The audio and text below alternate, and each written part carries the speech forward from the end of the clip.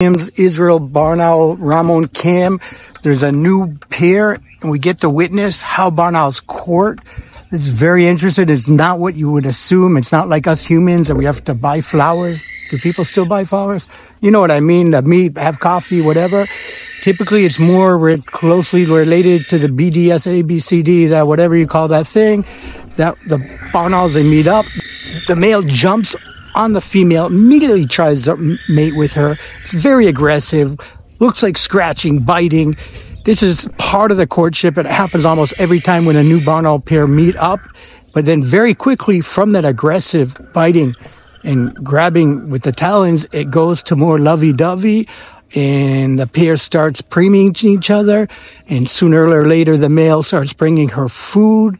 Uh, so it goes from very, very aggressive at first to, to very lovey dovey. Keep on watching. Hoot you later.